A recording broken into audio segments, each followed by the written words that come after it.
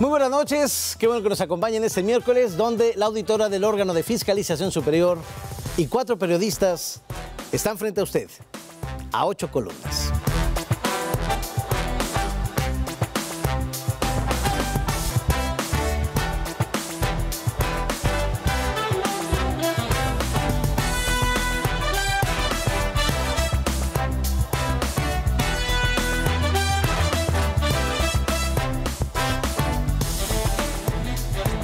Muchas gracias. Créame que va a estar interesante este programa porque nos acompaña pues, la maestra, la maestra Adelia González Cobos, usted lo sabes, la nueva auditora del órgano de fiscalización superior. La voy a presentar primero y después presentaré a nuestros compañeros, siempre agradeciendo a la Dirección de Radio y Televisión de Veracruz, al área de la Subdirección de Noticias, que nos permita hacer este programa para usted, este ejercicio de comunicación y periodístico para usted que usted pide este, este programa. Maestra Adelia González Cobos, muchas gracias por estar aquí con nosotros. Mucho gusto, muchas gracias. Gracias por la invitación.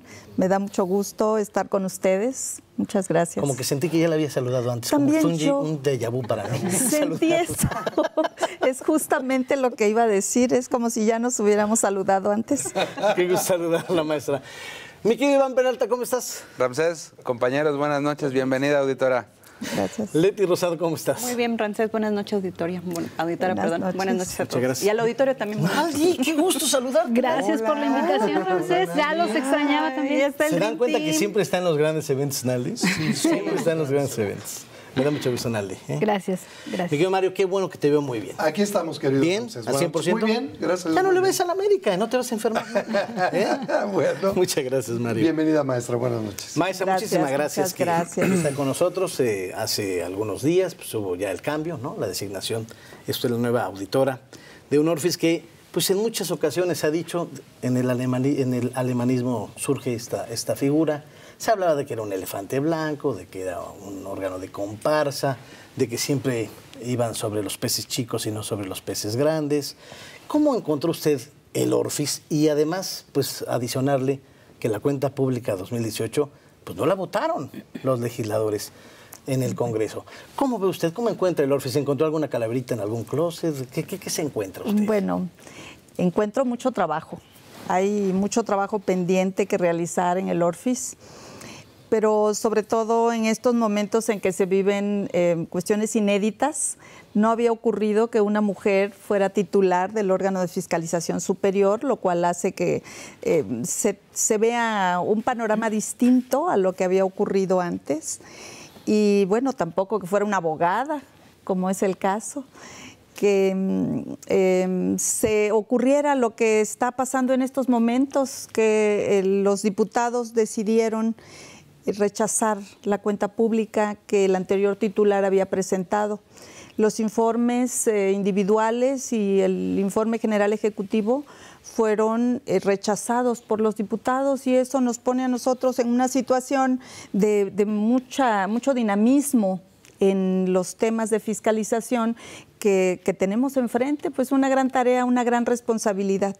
Ha sido para mí, bueno, es un honor para mí que, que haya sido considerada, que los diputados hayan confiado. Y bueno, quiero decirles que los ciudadanos veracruzanos he recibido mil llamadas, he recibido eh, muchas manifestaciones de apoyo de la gente que confía en que el órgano de fiscalización superior va a hacer una tarea diferente a lo que había estado haciendo, que va a tener eh, un impulso y una responsabilidad en, los, en términos que no se habían dado. Y eso para mí pues es un gran compromiso, es eh, una tarea que asumo con, con, mucha responsabilidad y que estoy segura que a los veracruzanos eh, les eh, van a ver resultados diferentes a los que se habían dado. Auditoria, ¿qué representa que los diputados hayan rechazado la, auditoría anterior que había dejado por Dilla y qué tiene ahora usted que hacer o con qué se va a subsanar ese, esa cuenta que rechazaron? Bueno, eh, me parece que es claro que ellos manifiestan, al igual que la ciudadanía, un, tanto de, desconfianza en el trabajo realizado.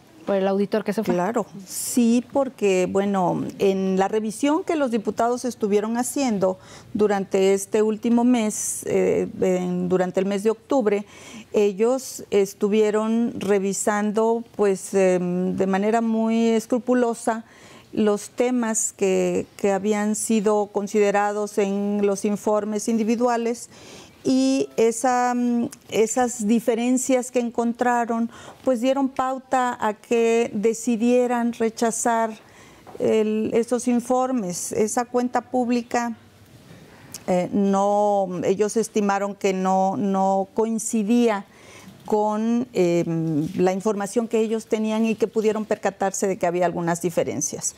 De manera que ellos estimaron que lo mejor era pues eh, rechazar y dar una oportunidad nueva de que el órgano de fiscalización superior eh, pues trabaje en la nueva valoración, una revaloración de esa información y documentación para que eh, pues se confirme o se modifiquen los resultados que originalmente habían sido eh, Presentados. presentados al, al Congreso. ¿Les va a dar tiempo estos 90 días para todo este trabajo que se lleva prácticamente medio año, año. revisar? Claro. ¿Y, qué, Eh, ¿Y qué va a pasar? ¿Van a tener que contratar este, otros despachos para poder acelerar el proceso? ¿O cómo va a ser este proceso?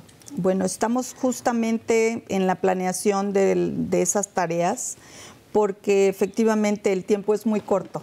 90 días no nos da como para irnos a Hoja por hacer, hoja claro. Desde cero, ¿no? Sí, desde cero. No nos da precisamente como digo, ellos conscientes de que los tiempos eh, requieren para, para las auditorías requieren un, un mayor periodo, eh, nos concedieron los 90 días naturales para, este, para trabajar esos temas, pero no vamos a partir de cero, que la verdad es que a mí sí me hubiera gustado, porque así podemos ver el inicio Claro. De manera- con del- lupa. Sí, claro, la planeación de la auditoría y el resultado final.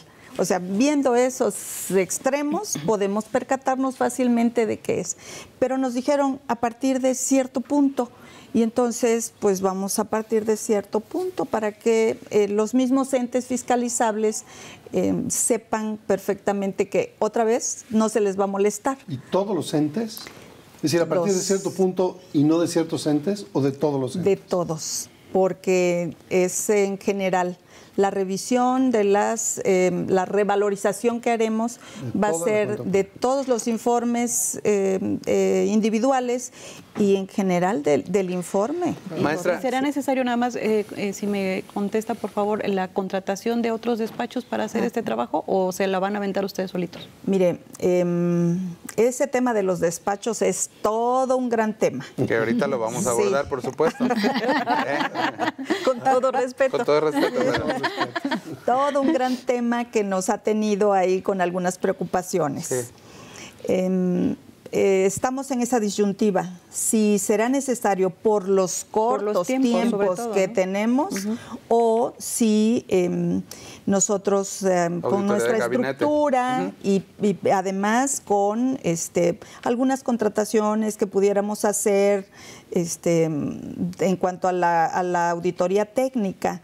La de gabinete, pues esa no es mucho problema porque la podemos hacer desde acá. El problema es ir y ver. Claro. la obra, o sea, ir y verificar. Eso es lo que nos tendría este, en una actividad por todo el Estado.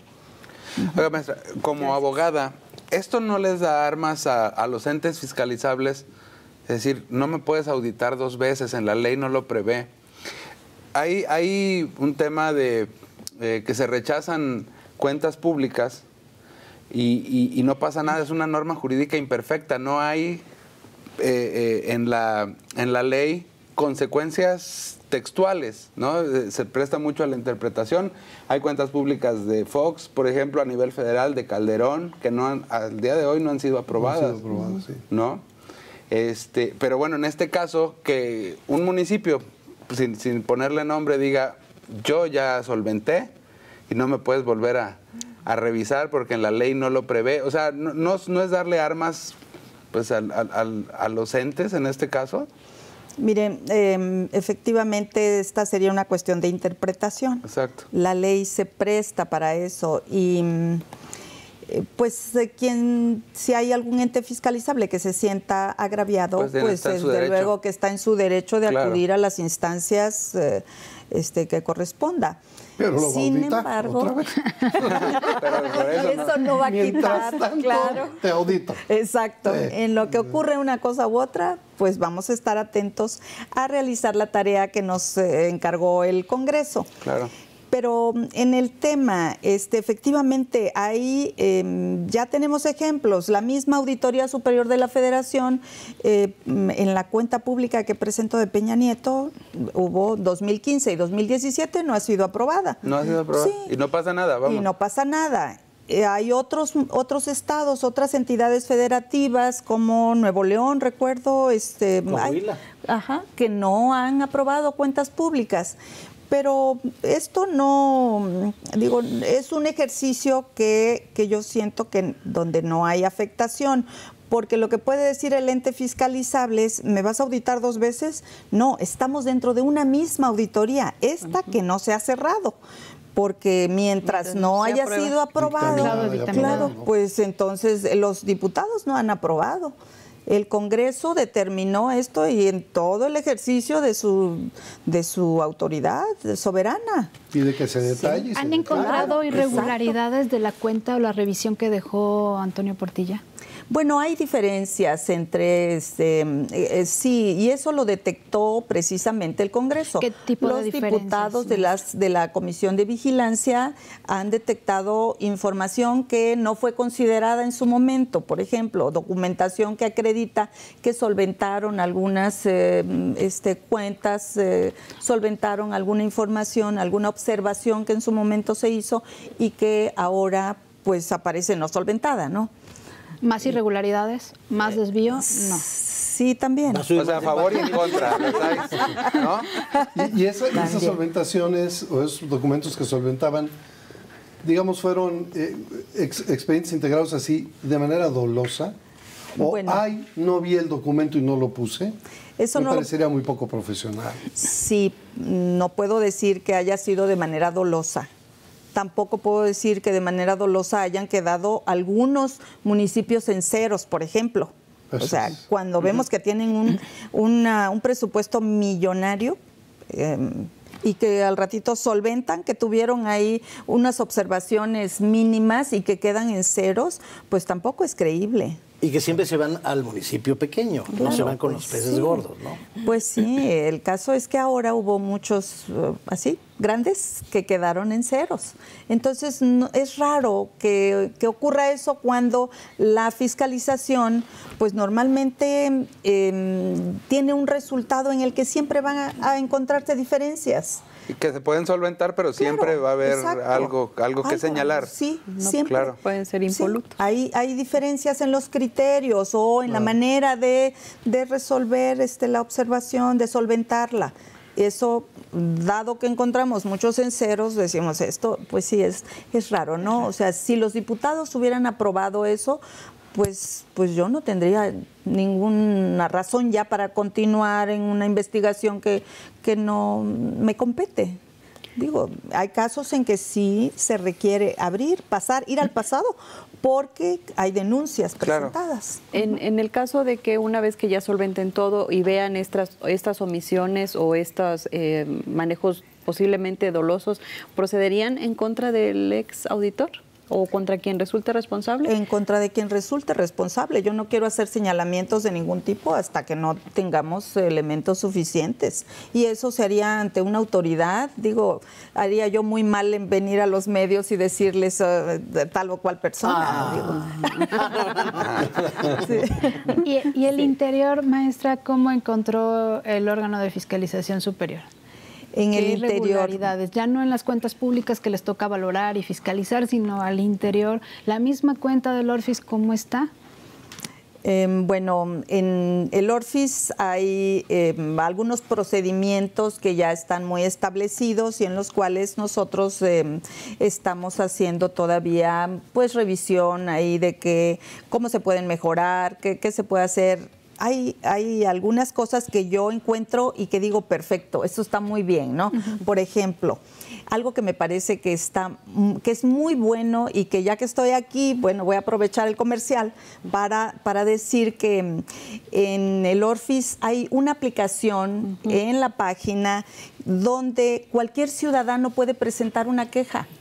Cualquier ciudadano puede em, eh, señalar ahí si, por ejemplo, en su municipio eh, alguien está diciendo que ya concluyó una obra y, los, la gente, los ciudadanos están conscientes de que eso no está ocurriendo, ahí pueden denunciar. Eso es eh, precisamente creado para... La de Conver. La de Conver, exactamente. Ahí está. Y esa es una herramienta que para nosotros es muy útil y que a mí me parece que debiera conocerse ampliamente, porque eso es algo que ayuda a los ciudadanos, nos ayuda a nosotros, pero además a los veracruzanos.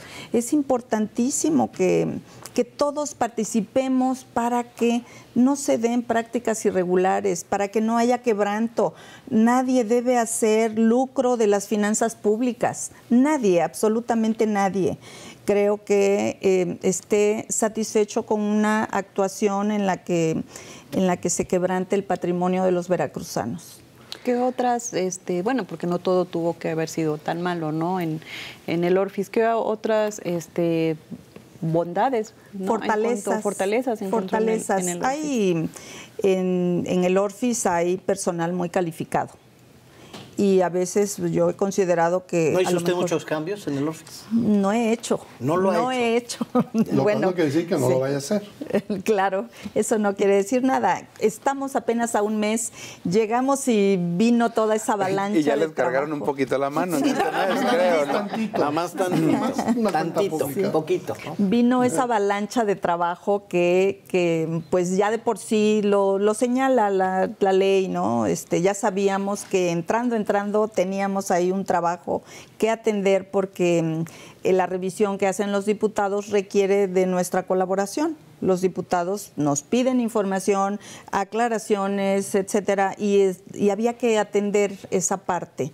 Entonces, eh, bueno, yo llegué y les dije al personal, necesitamos trabajar todos. Y en esa medida a mí me permite también ir conociendo, a ver, ¿con quién cuento? Sí, y yo lo que siempre les he dicho, porque me han llegado, no les digo qué cantidad de currículas, ¿no? Muchísimas. Gente que quiere pertenecer a la institución y, y, estar colaborando, y a mí me encantaría darle cabida a todos, pero no puedo.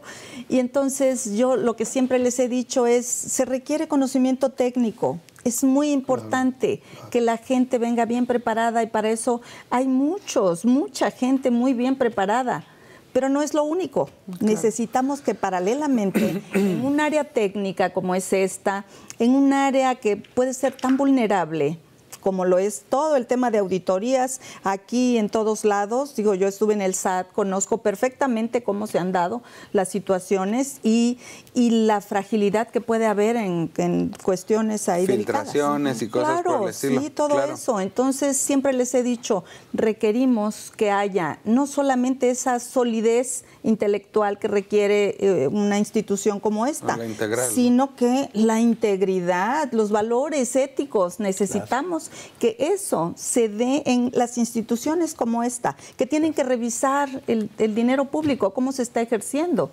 Claro.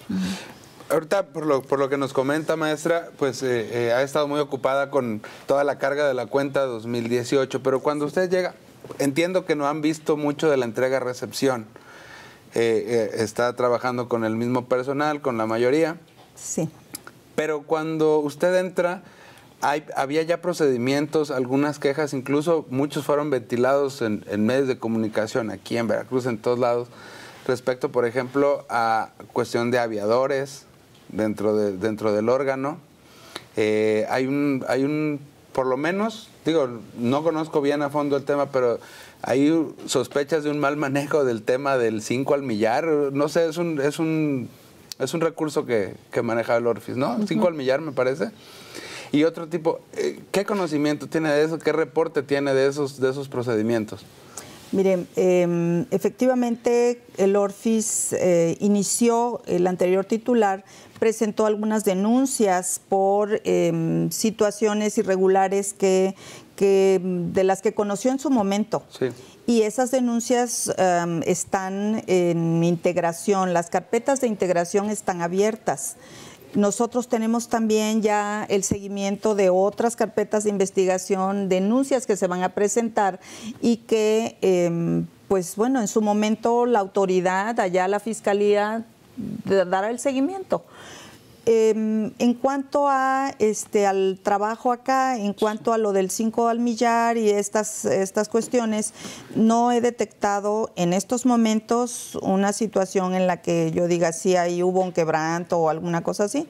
No lo tengo este, en estos momentos a la vista. todavía, Hay otras situaciones en las que yo digo, ay, ¿cómo le vamos a hacer aquí, no? ¿Cómo vamos a hacer para resolver económicamente estos asuntos? Digo, el hecho mismo ahorita de un trabajo que tenemos en Sí, puerta ¿Con qué que presupuesto? Exacto. Pues no hay una partida para eso. no, no, estaba previsto, ¿no? No estaba previsto. No, y, y mi preocupación también es, bueno, pues de aquí a dos meses hay que cubrir ciertos... Aguinaldo. A Entonces, 90 sí. días, a mes y medio. Sí, pero No, se no, te cruzan aguinaldos Sí, y es cierto. prestaciones. que- Sí. ¿Cuántos es trabajadores eso. son en el Orfis? 387. No habrá un recorte de personal, obviamente, por todo lo que En se estos a momentos no.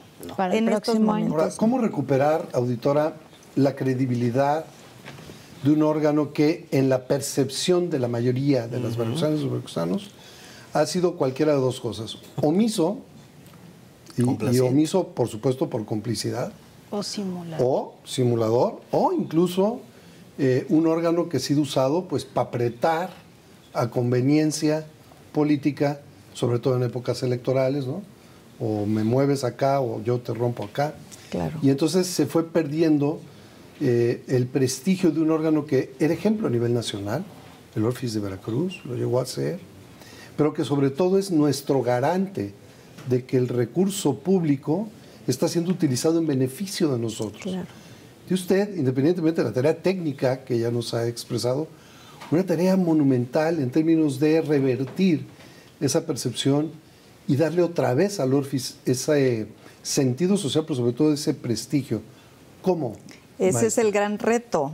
Ese es el reto, precisamente. Y por eso les decía yo, no es suficiente que, eh, que haya la capac- las capacidades técnicas. O sea, necesitamos de la otra parte, y eso es sumamente importante, valioso. Lo que requerimos es, para recuperar esa credibilidad, aparte del trabajo, la integridad.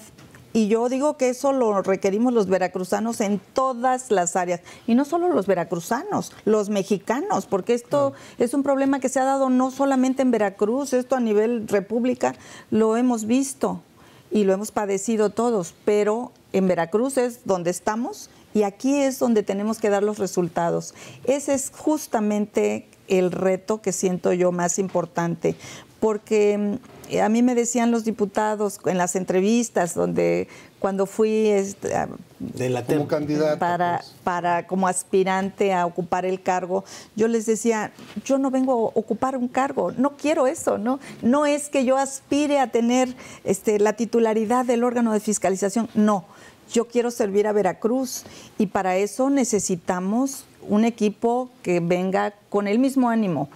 Y además, si los mismos diputados ¿no? están respaldando mi trabajo, mi tarea, pues por supuesto que los resultados tienen que darse, deben darse porque porque la gente necesita credibilidad en las instituciones y en una institución como esta que tiene esta tarea tan delicada, pues es yo siento donde más deben exaltarse los valores que tenemos los veracruzanos. ¿Esa parte técnica no se va a ver condicionada por la parte política? Claro, ¿cómo, Bueno, cómo, ¿cómo Sin cómo- distingos partidistas. cómo disociarnos, ¿no? Sin Claro. distingos partidistas. ¿Cómo Sí. Y, y Bueno.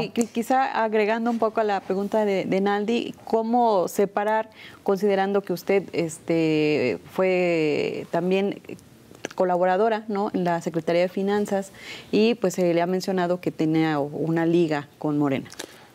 Perdón, y, a- y- y adicionando un poquito más. Tenemos un intento. Adicionando un poquito más. Pues usted, usted se va a revisar los nueve meses que usted ocupó la Procuraduría Fiscal, por decirlo de alguna forma, ¿no? Sí, o sea, ¿cómo, cómo disasociar, como bien separar. comenta Ramsés, eso? La política de... ¿No? Del, Bueno, es, eh, a ver quién da más. ¿Quién? Ya nadie, ya nadie. No, ya, ya, ¿Ya está? ya puse lo mío, ¿eh? Sí, bueno, eh, yo lo que les digo es que eh, tengo un compromiso no con un partido, no con un color. El compromiso es con los veracruzanos. Yo estoy aquí para servir a los veracruzanos. Mi vocación de servicio es hacia, hacia Veracruz, no hacia un partido político. Y el hecho de que yo haya estado en la Secretaría de Finanzas, pues yo ocupaba la Procuraduría Fiscal, la Procuraduría. O sea, yo llegué a ver juicios y atender los temas en tribunales y, y, bueno, todo lo que requería este, la asesoría jurídica. Aterrizamos en la pregunta después de una pausa, ¿sí? Con gusto, ¿Parece? claro. Y yo le adicionaría que regresamos después de una pausa.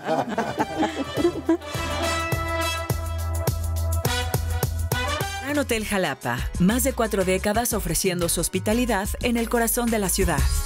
Cuenta con habitaciones sencillas y dobles, suites tipo junior y master, la suite Araucarias y dos villas. Albercas, restaurant, bar, área comercial y salones para reuniones y convenciones, áreas verdes y una incomparable vista panorámica. Gran Hotel Jalapa, un símbolo de abolengo y tradición.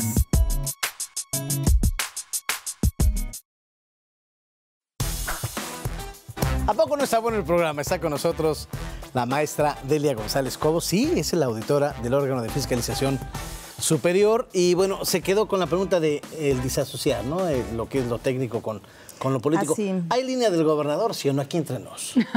Nadie, se va a enterar. Nadie se va a enterar. En confianza, ¿verdad? Sí, en confianza. Sí, ¿A quién claro. cortó? En confianza. ¿Quién cortó aquí, No, no, bueno, el gobernador lo he saludado dos veces desde que estoy en el cargo, pero mm, no, él no, no da línea.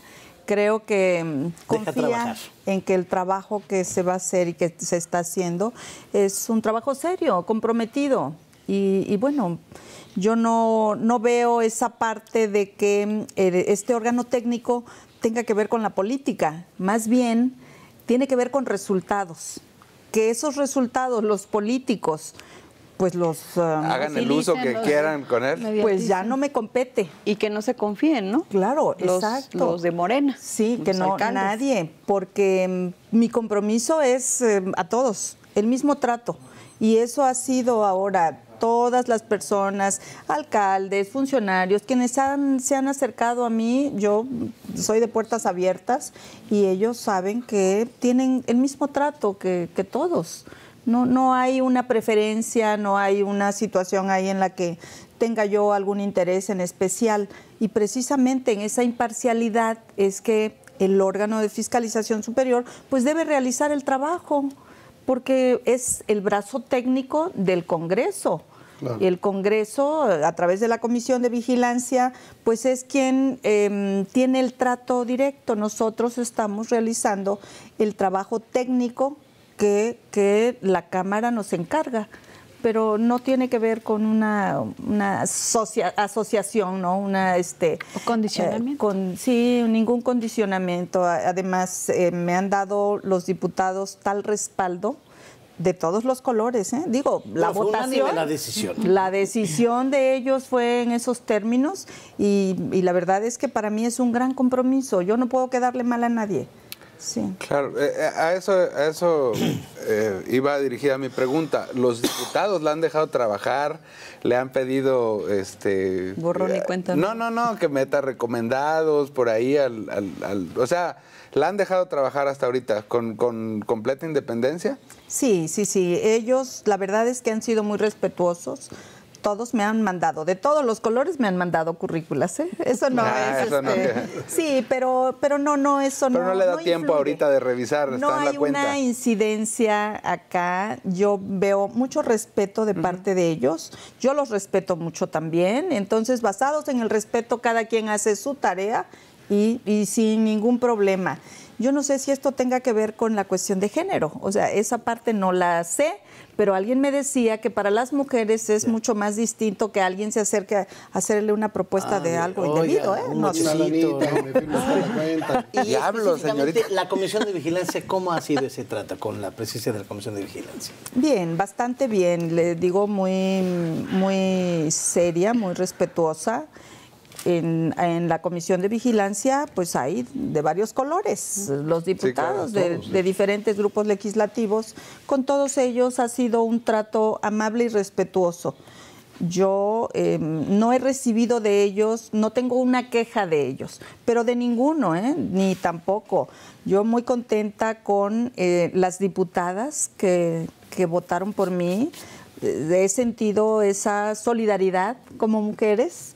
Me ha dado mucho gusto y créanme que he visto a los diputados mucho más fortalecidos al considerar que sea una mujer quien puede ocupar el cargo. Digo, las, las mujeres podemos tener esa, esa, este, ese trato de sororidad, ¿no? Pero los varones, los diputados, pues qué fortaleza para que ellos, haciendo a un lado esa, esa masculinidad, ¿no? Que siempre ha tocado que, que ellos ejerzan, ahora decidan que sea una mujer. Entonces, bueno, pues mucho más respetuoso el trato con ellos. Maestra, y con platícanos ellas. de el negocio de los despachos contables. ¿Cómo es negocio? ¿eh? Ya, Ya entró a temas Ya escabrosos. Pues como sí, negocio. Con, Sí. con todo respeto. Con todo respeto, Sí, es un negocio. pues, No me dejaron. se hablaba ahí este, de un negocito, ¿no? Con los- Miren, ah, hasta ahora no he tenido una sola prueba. Sin embargo, me ha llegado información de varias partes, de, de situaciones irregulares, que yo hasta este momento no puedo decir si son ciertas o no son ciertas. Pero está investigando. Estoy haciendo todo lo que eh, en mi mano está para evitar cualquier situación de esas. Eh, no quiero yo estar viendo hacia el pasado en es- cuestiones que no sé dónde, que vaya a encontrar. Lo que sí sé es que eso, si se daba, no va a ocurrir ya. Porque, por ejemplo, se hablaba, y, y- y corríjame si no es así, de, de despachos que acaparaban, por ejemplo, en la cuestión de municipios, muchos municipios, o sea, eran tres, cuatro despachos con la mitad del Estado, ¿no? Auditándola. ¿Cómo? ¿Qué hacer a partir de ahora, ya bajo su responsabilidad, para que eso ya no ocurra, por ejemplo? Eh, total transparencia. Yo a todo mundo le estoy diciendo, eh, vamos a manejar las cosas de manera distinta y, eso implica que cualquier ente, todos los entes fiscalizables, debemos manejarnos con la absoluta transparencia. El hecho de que em, discrecionalmente el titular designe un despacho para que em, vaya y audite a un ente, eh, da eh, un poco esa discrecionalidad, da que pensar. Claro. Se presta obvio, claro. a situaciones en las que eh, pueden ocurrir mil cosas. Entonces, Y esa- ninguna buena, por supuesto, ¿no? pues no sabemos si, Entonces, si son buenas o suponemos, no. ¿no? Bueno, pero eh, Ah, bueno. el caso es que eso ya no va a ocurrir. Esa discrecionalidad no se va a dar más. Vamos a cambiar los mecanismos y, y los medios van a, Y se abre el abanico. a saber, por supuesto. Tengo muchas quejas ¿no? de muchos despachos, de mucha gente que me dijo es que no nos han dado en años, no nos incluyen en las em, en las capacitaciones, somos parte de un padrón, pero pero no estamos incluidos en las capacitaciones, nos vamos quedando atrás y nosotros no crecemos, en fin, ¿no? O sea, una serie de circunstancias que, que yo no voy a repetir. Pero sí estuvo cuchareado entonces el padrón en todos esos años. No lo puedo asegurar. Bueno, si hay quejas de que- No No, no. Lo que sí sé es que eh, vamos a transparentar toda esa, eh, esa tarea. Claro. Vamos no, a- es parte de un todo. Digo, si- Claro. si, se ¿Cuántos quiere ser despachos diferente. están actualmente trabajando?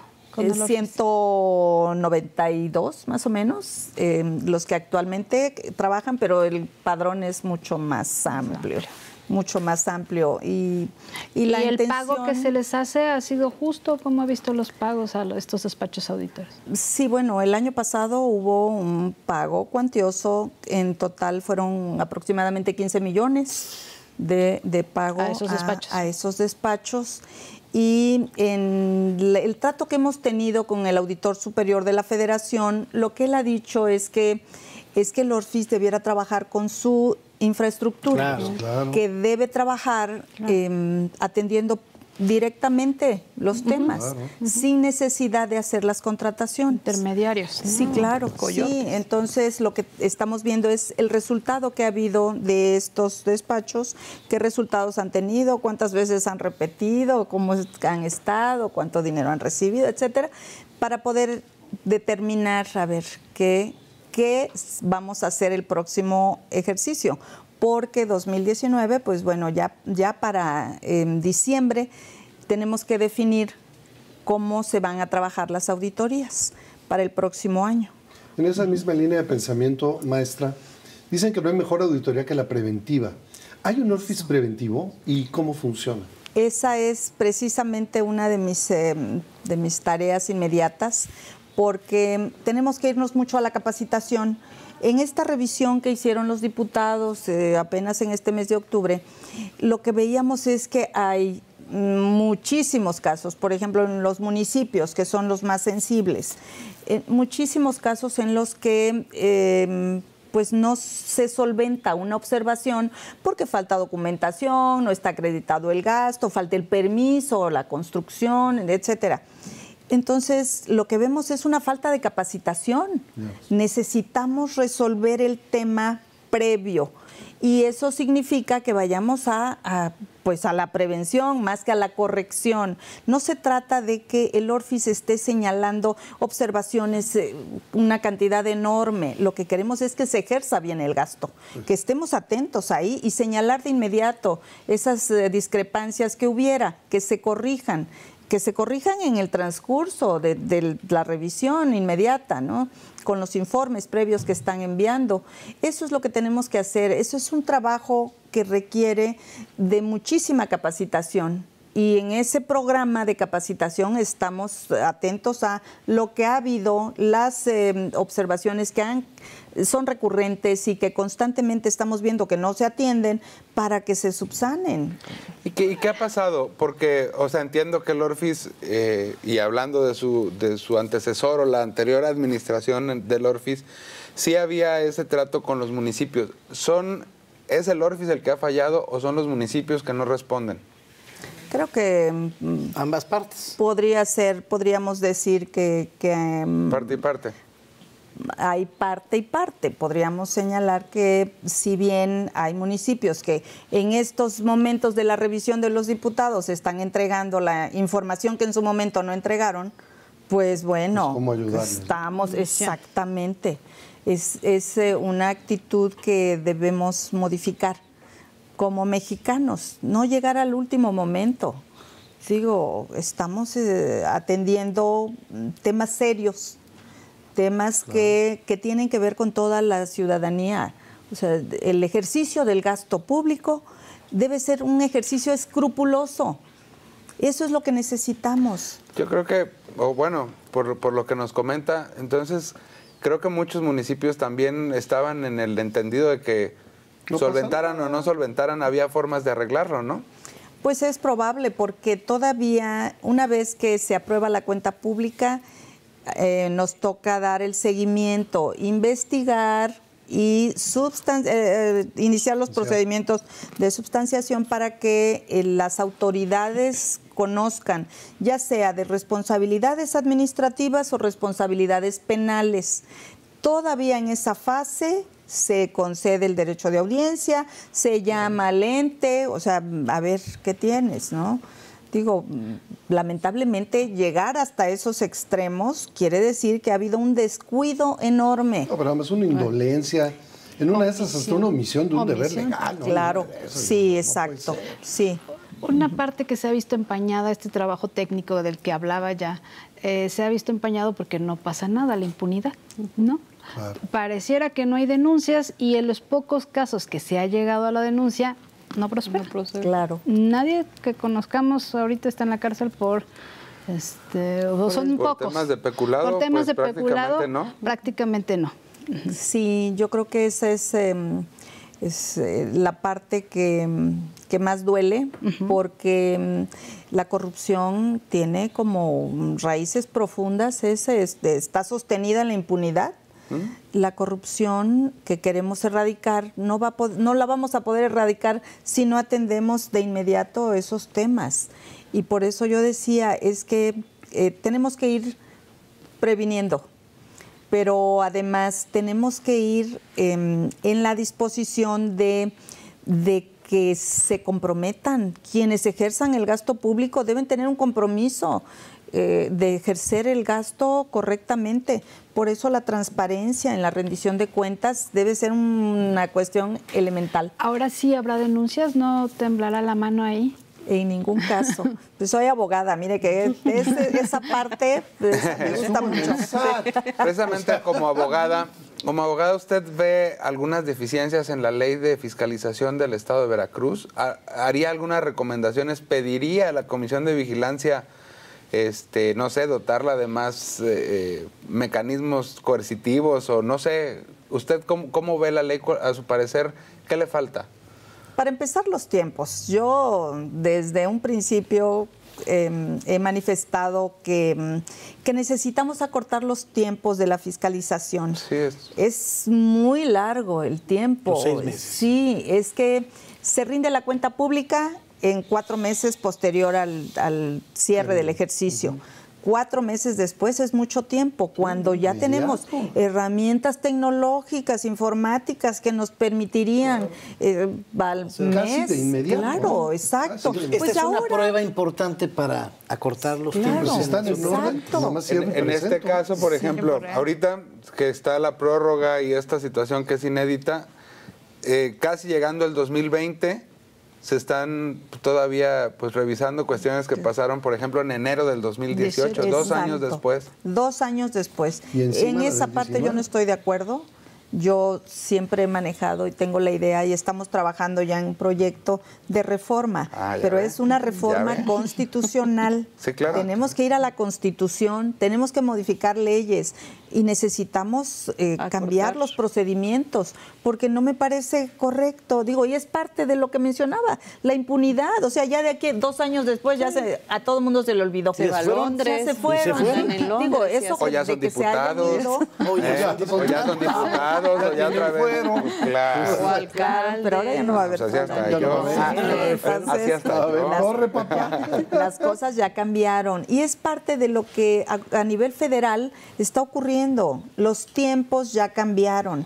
En Veracruz ya están cambiando. Se ve en est- estas decisiones del Congreso del Estado que ya las cosas no son las mismas de antes. Y entonces, si lo estamos viendo a nivel república, pues hay que ir atendiendo el tema. Y el tema es anticorrupción. Y, y en esa tesitura todos tenemos que ir ajustándonos a los nuevos tiempos. Precisamente sobre este tema de eh, anticorrupción, eh, usted ya se presentó ante el órgano de gobierno del Sistema Estatal Anticorrupción, ya empezó a trabajar con ellos, con el CPC, el Comité de Participación Ciudadana del Sistema Estatal, y cómo, cómo la recibieron y cómo percibe usted este trabajo que, que- pretende hacer el Comité de Participación Ciudadana. Eh, sí, ya estamos mm, integrados ahí, eh, soy parte de ese consejo y mm, estamos atendiendo ahí las, eh, mm, eh, los llamados que se hacen para ver algunos temas. Hasta de despidos le han Hasta de dicho, ¿no? despidos, ¿no? Sí, este es el de inmediato. Perdón por el pleito de los señores. ¿eh? A, a- a eso Llegó quería llegar, se ¿no? sentó en la mesa y los señores están Sí, peleando. claro. A ese tema Sí. quería llegar, al del pleito Ay, entre eres- secretario cómo eres, técnico Leti, ¿eh? y el presidente del Comité de Participación. Ciudadana.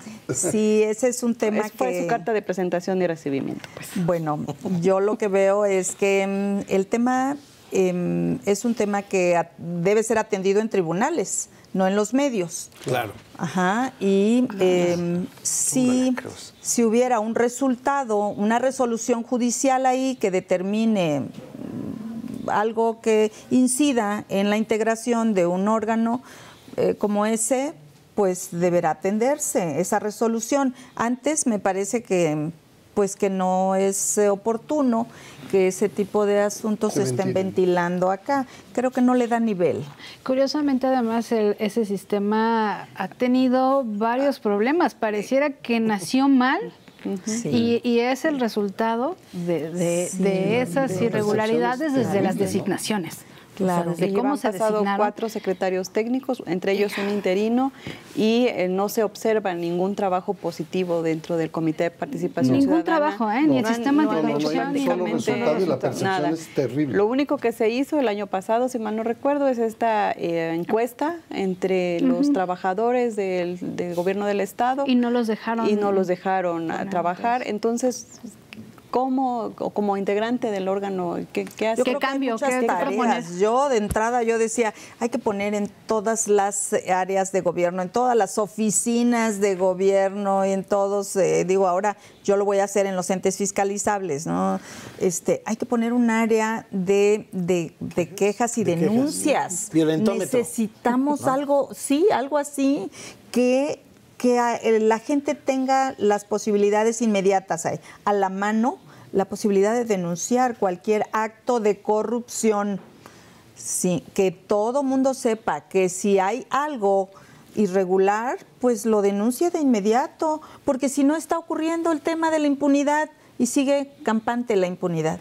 Yo creo que lo decíamos, los tiempos ya cambiaron y tenemos que, actuar de otra manera. Y digo, el compromiso, si la gente que llega a ese órgano no tiene el compromiso de actuar a la altura de lo que los veracruzanos requieren, pues es mejor que, le den el paso a quienes sí quieren. Eh, Emilio Cárdenas, el presidente del Comité de Participación, dijo que el próximo lunes a las 11 de la mañana va a poner en la mesa este, la remoción de Carlos Quirós.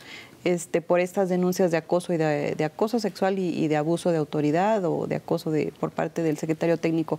¿Existe esa posibilidad de acuerdo a lo que usted eh, tiene conocimiento? Sé que mm, eh, tengo entendido, también a mí me, llegó por ahí la información de que este asunto se estaría dirimiendo ahí, pero bueno, ya esperaremos a que en su momento pues nos llamen y, nos eh, veamos, discutamos el tema creo que deberá discutirse en ese seno y no ante los medios. Perfecto. Bueno, y la 3 de 3 bien, ¿no? Sí, claro, bueno, la 3 de 3. Tenemos, todavía estamos en tiempo, ¿eh? ¿Ah, sí? Sí, claro, claro. Eh, ¿Ha habido como renuencia para presentar esta 3 de 3? La va a presentar, eso le iba a decir, porque también se ha desdeñado desde nivel federal la 3 de 3, ¿no? Porque era algo que sí, no, No me, eh, sí, yo siento que como no tengo nada que ocultar. Pues ahí va. no le quita nada presentar. No me quita nada, absolutamente. Y entonces, sí, sin, sin ningún problema. ¿no? Pero también estaría de, acuerdo con que el resto de los funcionarios sí, la tengan que presentar y que no la minimicen, ¿no? Porque como que ha sido un tema que han este, sepultado la Sonó mucho en el 2016 y como que se empezó a... Pero no puede haber una lucha contra la corrupción si no hay transparencia a partir de, de lo que yo tengo, los intereses que puedo tocar. Si no hay esa 3 de 3, no hay una lucha completa anticorrupción. Totalmente de acuerdo. Totalmente de acuerdo. Em, creo que hay una obligación moral de quien ejerce un cargo público y sobre todo los de alto nivel que, que lo transparente. ¿Habría eh, o impulsaría alguna iniciativa en ese sentido? Porque aquí en Veracruz no es obligatorio hacer pública la declaración patrimonial, sí es obligatorio presentarla pero no hacerla pública. Queda a la decisión de cada funcionario si la reserva o la hace pública. ¿Impulsaría por ahí alguna iniciativa para que todos sean pública? No, no lo, yo no, lo haría porque mm, eh, no es de mi competencia. La Contraloría General que ve esos temas eh, podría hacerlo quizá. Sí, los propios diputados, eh, en todo caso ellos atenderían. Pero, pero mm, yo más bien voy a, me manejo en otra área, que es la revisión de las cuentas la públicas. Fiscalización. la me fiscalización. Mencionaba hace un momento que tienen listo, bueno, están trabajando en un anteproyecto para una reforma constitucional en materia de fiscalización. ¿Para cuándo estiman poder tener ya un ya una propuesta y, cuál, cuál sería la vía? ¿Se la van a presentar a la a la comisión de vigilancia o, cómo? Mm, Bueno, yo más bien creo que mm, eh, vamos a intentarlo a través de la vía federal. Ah, muy bien. Ajá, porque Una reforma debe a la ser Constitución reforma Federal. a la Constitución Federal. Y esto tendrá que ver con los tiempos, porque eh, si, digo, yo encantadísima que la Comisión de Vigilancia tome nuestras propuestas y, Claro. y las suba Las al eleve, Pleno, claro. se apruebe y la mande al Congreso, ¿no? Esa es eh, la ruta, sería la ruta a seguir, pero también tenemos el caso de, de nuestros eh, legisladores federales que están aquí, que están atentos, que les preocupa Veracruz y que lo que quieren es cuanto antes eh, resolver eh, esas, esas cuestiones. A mí ya me han manifestado, la, la senadora de Veracruz me ha dicho, dame, dame los elementos para que nosotros podamos proponer acá. Entonces, sí, yo encantadísima de ir lo más ágil posible. Digo, la idea sería que en este año quedara ya eh, presentada esa iniciativa. Y si fuera aprobada en el Congreso Federal, pues qué mejor. Qué mejor. Sí, claro. Yo creo que también el auditor superior de la Federación también anda en esos temas. Ya se reunió tiene- usted con él, ¿verdad? ¿Lo, lo fue a ya. visitar a la Ciudad Sí, de México? Yo de inmediato fui a la Ciudad de México, me presenté con él, un señor que tiene todo el prestigio del mundo en- al dirigir al, al órgano de fiscalización de la República. Es eh, un prestigio muy bien Hay ganado. alguna unificación de criterios Sí, ahí. claro, entonces? sí. Hay, Coinciden. hay colaboración. Nosotros trabajamos. Sí, claro. Ellos revisan el gasto público, todas las participaciones federales, y entonces nosotros tenemos que ir en colaboración con ellos. Y es lo que estamos haciendo. Eh, eh, auditora, eh, de mi parte, eh, el presupuesto para el ejercicio fiscal 2020 ya, ya usted no lo presentó, ¿no? Le tocó todavía al Le anterior. tocó. ¿Y cuánto, cuánto pidió para...? En los mismos términos que quedó para este ejercicio, eh, No vamos, hubo- en realidad no hay incremento. No pidió un No incremento. pedimos quedó igual. incremento, quedó exactamente el mismo presupuesto del año pasado. Entonces, eh, ¿Cuánto- no, cuánto fue? ¿cuánto ¿No fue? Más recuerda? 89 millones. Ok. Sí, O sea, es, se van es a, lo mismo. a que- ajustar a, a sí, ese presupuesto ya para el próximo ya para el Para el próximo próximo año. Ustedes ya. Y, estaremos tratando de hacer las mayores economías posibles. Pues maestra, se nos terminó el tiempo. ¿Regresamos en otro momento? Por supuesto, si me invitan, yo En estaré enero. encantada. Cuando termine, Cuando 90 termine. días. Que termine la En cuente enero. Por supuesto, en En enero. Yo termino el 30 de enero. Bueno, está, eh, sí. ya nos vamos. Confi- ¿Debemos confiar en el Office entonces? Por favor, sí. Bien. Pedimos eso. gracias. Gracias. Muchas gracias. Muchas gracias. Gracias, ¿eh? no. La maestra Encantada. Gracias. Y nosotros, Dios mediante, estaremos el próximo miércoles a la misma hora. Gracias y muy buenas noches.